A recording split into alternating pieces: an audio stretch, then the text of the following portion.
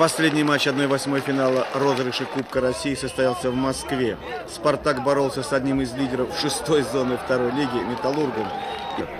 Эта команда представляет Орско-Халиловский металлургический комбинат. Острой борьбы, правда, не получилось. Уральцы старались изо всех сил, но смогли сопротивляться лишь 34 минуты. Передачу сделал Черенков. А через 5 минут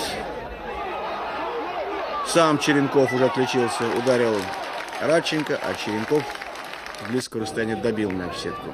Но потом «Спартак» забивал мячи через 10 минут. Эти мячи забивались во втором тайме. Третий гол на счету Радченко. Вот смотрите, как много спартаковцев участвовало в атаке. 3-0 Дмитрий Радченко. На 59-й минуте отличился Андрей Пятницкий. Хороший удар 16 метров.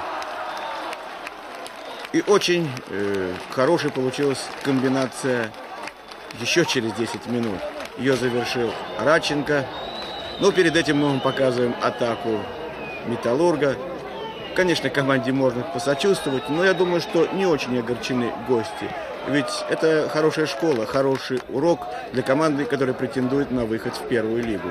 А вот так спартаковцы забили последний мяч. Ну и еще хочу отметить, что в этой игре вышел на замену Сергей Родионов. После долгого перерыва он вернулся в Москву и вот во втором тайме играл на дальнем плане. А ассистировал здесь Радченко, дебютант команды Кетчина. Матчи 1-4 финала состоятся весной следующего года. «Спартак» Владикавказ будет играть с «Гекрисом» из новороссийской команды первой лиги «Локомотив» и ЦСКА встретятся между собой. «Динамовцы» Москвы будут играть с «Ротором», а «КамАЗ» с «Спартаком» московским. Жеребьевка определит хозяев поля.